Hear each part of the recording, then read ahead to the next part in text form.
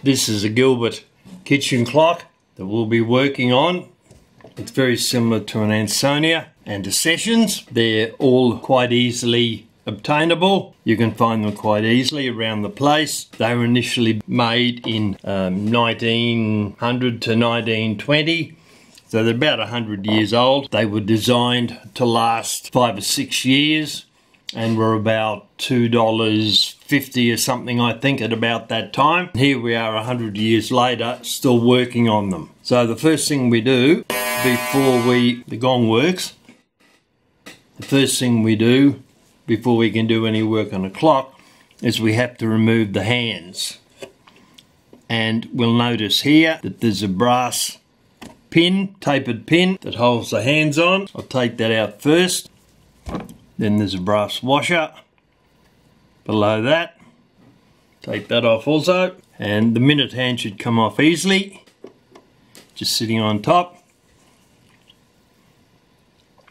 You'll notice there's a square hole in it that fits over the minute arbor. And we'll look into that further as we go on. Now we remove the hour hand by putting a fingernail underneath it and lifting it up. The hour hand is kept on by friction, so it's very easy to remove. We'll put that aside. Now we remove the dial. There's two screws, one here, one there. So We'll undo those screws, put them aside, do the second one. That's done.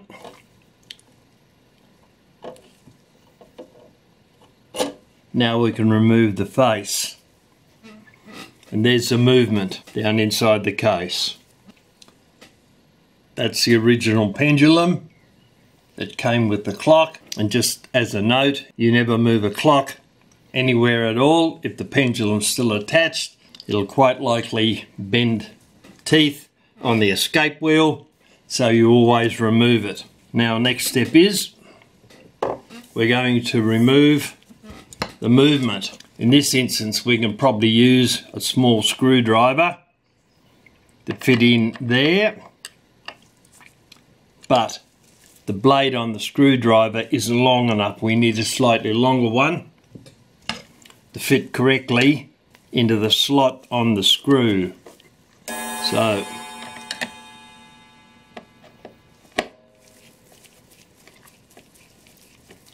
I'll undo the first two. Screwdriver is obviously magnetized and then up to the top here we've got two more screws one there. This is where the long shafted screwdriver comes in handy to be able to get in to the case there. I think that's undone. If we can. Not a lot of room in there to move around.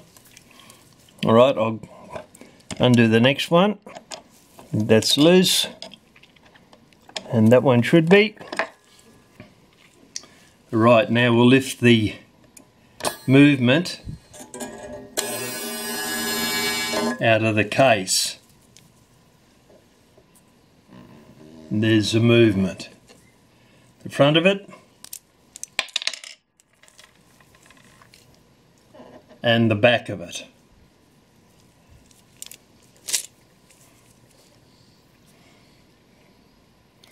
Right, I'll put that aside for the moment. Pick up the other two screws that held the movement in. Put them aside. We'll keep them together so we don't lose them. Now we'll remove the case.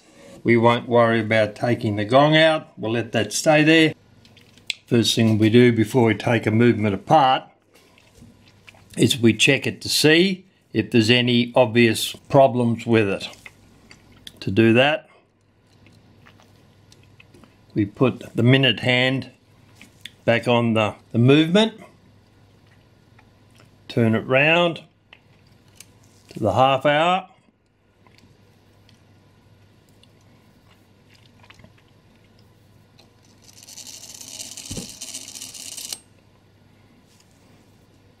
That wheel is obviously out. We'll fix that when it comes round. Now we'll turn it up to the hour.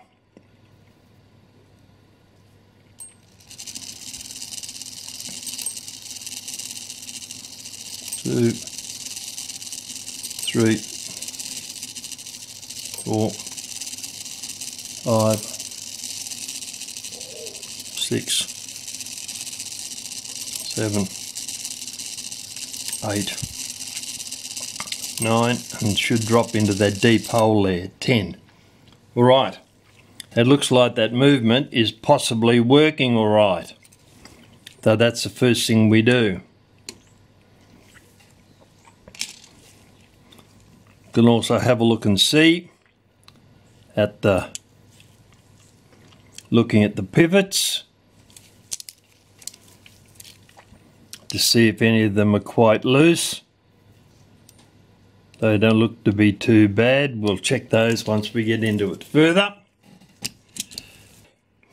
We now have to contain the the power in the springs which we do with a let down tool and a set of mainspring clamps.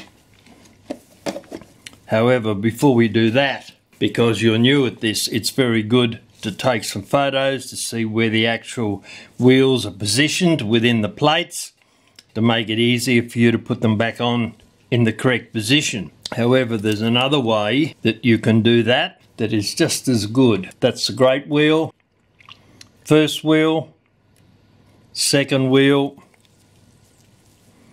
the third wheel is there, and that is the fourth wheel, also called the escape wheel. Now there's a way to record this information for you later on. So we've got four wheels, including the great wheel. So I shall write down T4 T3, T2, T1, and the great wheel. Then you look and see how they're set up between the plates. Now the great wheel has obviously got the teeth on the top. That piece there is called an arbor. The teeth run round the top and the the mainspring is underneath it. So how we draw that, that's the arbor, that's the wheel running across there, and a big block underneath it with a cross on it is the mainspring. Then we look at T1 which is that wheel there. Once again, it has an arbor. The teeth are up the top on the wheel, and that's a wheel running across there. This piece down here is called a pinion, and that is drawn with a small square underneath.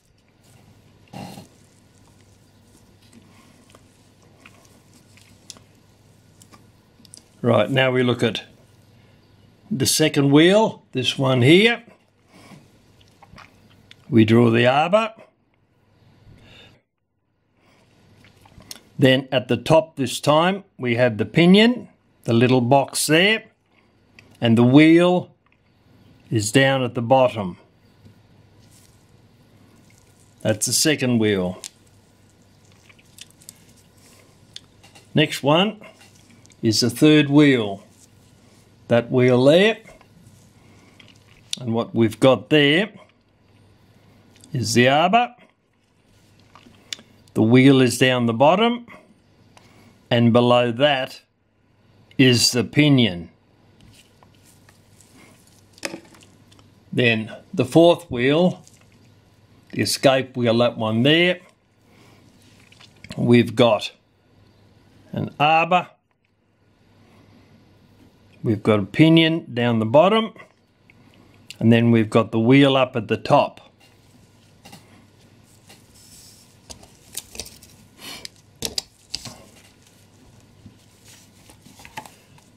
So that's what that looks like.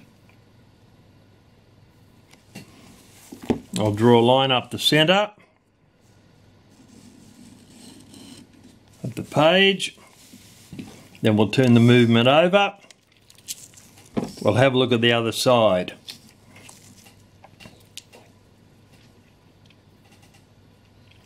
That's the going wheel, the first wheel, the second wheel, that's the second wheel in there, also called the maintenance cam, the third wheel, the warning wheel here, and the fourth wheel as such is the fly. So we will we can draw all those again. And this is on the strike side. So we've got S4, S3, S2, S1 and the great wheel. Great wheel first. We've got the arbor. We've got a big block underneath with an X on it that represents the mainspring. Then we've got the wheel on it. And above that, we've got the count wheel. Then we look at the next wheel, the first wheel, that one there. As usual, draw the arbor first. Then the wheels up at the top. And below that, we have a pinion. Now the second wheel, which is that one there, we've got an arbor, we've got our wheel down here, that's our, that's part of the maintenance cam there. Those two pins work the hammer for the gong, and then up at the top we've got our pinion. Now, next wheel. Third wheel, S3, this one here, the warning wheel. We draw our arbor and our wheel is down at the bottom. The pinion sits there. And then the fourth wheel, as such, which is the fly. We can draw that easily up here. It has a pinion down the bottom and the fly up at the top.